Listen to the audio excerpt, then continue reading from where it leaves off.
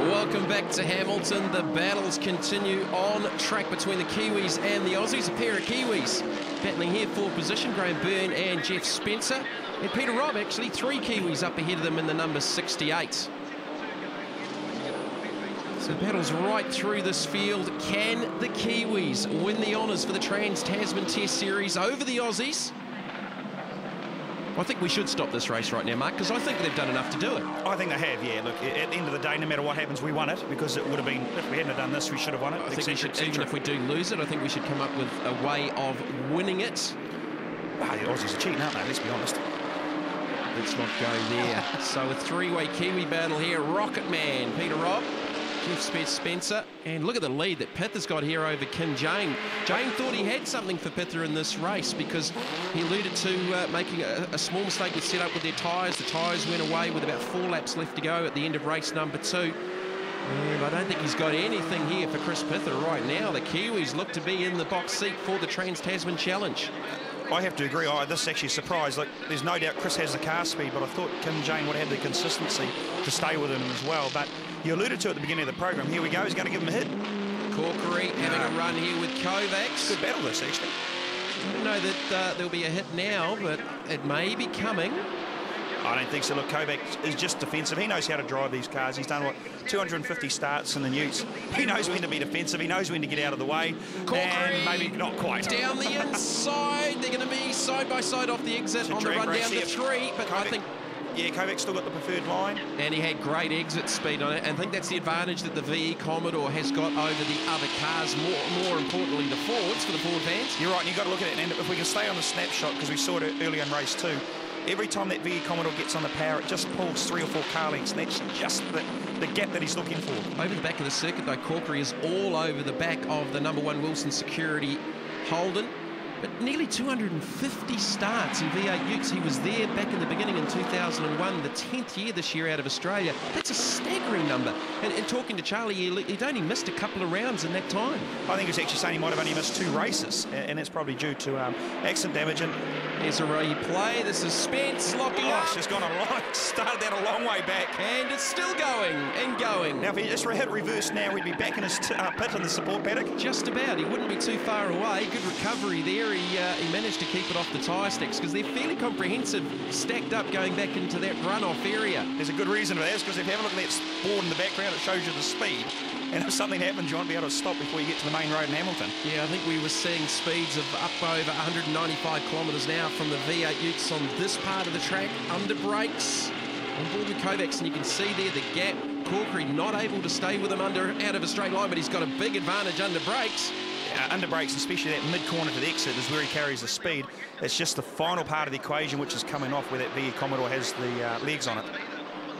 I had the call from the, the organisers behind the NZV8U series and the Australians. What they're really happy about is, is the parity, identical top speeds between Pither and Jane in two very different cars. One a Ford, one a Holden, and obviously the Holden is the later model VE. So that's got to be good for the class across. And, and was seeing here that Kovacs has got the advantage out of the turns.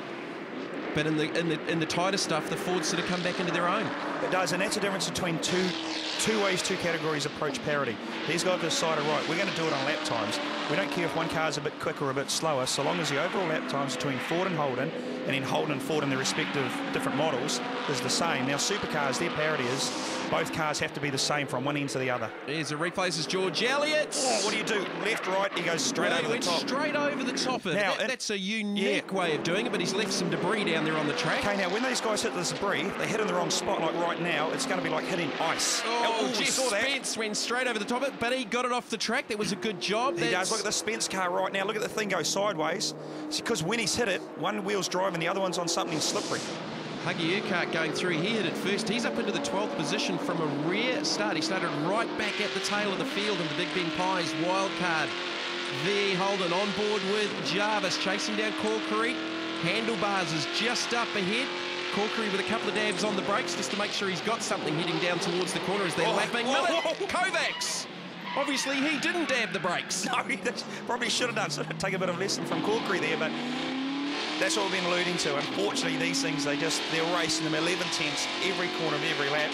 And when you want the brakes to be under you, every now and then they're not, and that is exactly what happens. Somewhat ironic, he's sponsored by Big Brakes Australia, or should I not go there? No, let's not go there. Here's a replay. Oh, he come from a long way back too. He was lapping the 88 Millet car, and he was never, ever going to make that corner. No, you're right. And what you can allude to and confirm that as brake fade is you'll see there's absolutely no tyre smoke.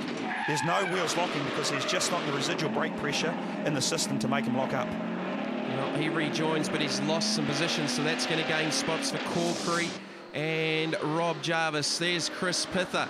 Couple to go, less than a couple to go now, and he's got a big lead over Kim Jane. The doctor, Chris Pither. Lots of V8 Ute experience on both sides of the Tasman. Go, Chris, go for the Kiwis. Go, boy, go. Isn't it a good thing seeing the flying Kiwi out front? Well, there's daylight behind him to second. Apparently, there's an Australian back there, but uh, oh, there he is. There, that yellow car in the background somewhere. So Chris Pither takes the last lap board, one to go. We go back to Robert Jarvis chasing down Corkery. Take a ride here with the BBC Racing Ford.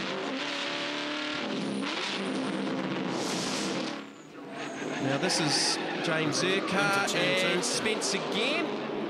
I think Spence is trying to take up a new, well, uh, new sport of drifting. Peter Robb's doing it as well. It's flying off the cars left, sorry, off the Utes left, right and centre here. He's got Graham Burnham behind him, senior burner.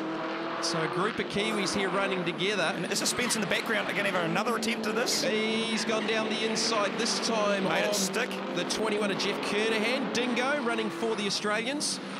We've got David Kernahan running for the Kiwis.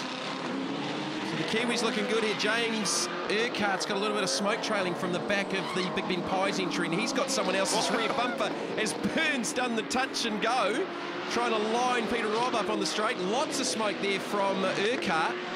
It's yeah, a bit of a patchwork quilt, that car. It's got various bits from other race cars on it.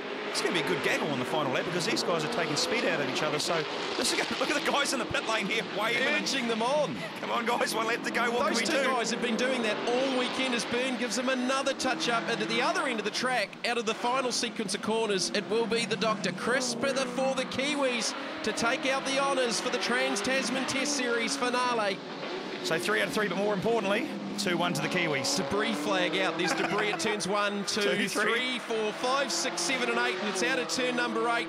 Chris Pither will win the Trans-Tasman Test Series for the Kiwis and the individual honours. He takes over the mantle from Charlie Kovacs. Kim Jane are fighting second, but it wasn't enough for the Australians. Simon Junior Burner will finish in the set, uh, third position in the McDonald's Ford. He's going to be pretty happy with his weekend. He hasn't raced all year. This is the battle yeah. we were watching before oh, the finish. Oh, Urquhart. He's just taken the chicane out. He's got into the concrete. Don't keep reversing, James, whatever you do. Got to ask yourself the question, four corners to go, why? Well, it's ended in tears. He's not taking too much home. That started the weekend on that ute, but you've got to say, Huggy, he's been entertaining. Chris Pither takes out the final race for the Trans-Tasman Test Series for the V8 Utes. Takes out the individual honours overall as well from Kim Jane, Simon Byrne, Colin Corkery. And those not having such a good run towards the end of the field, the likes of James Urquhart and Jeff Spencer and Warren Minnitt. Entertaining stuff from the V8 Utes from Hamilton.